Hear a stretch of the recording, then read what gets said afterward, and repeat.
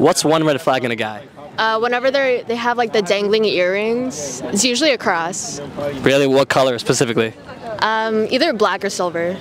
And why why that? Why black or silver? I mean, why the cross earring though?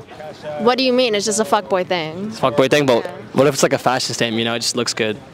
Are you Christian? I am. Yes, I'm Catholic. Mm, so what does this mean to you? Cut.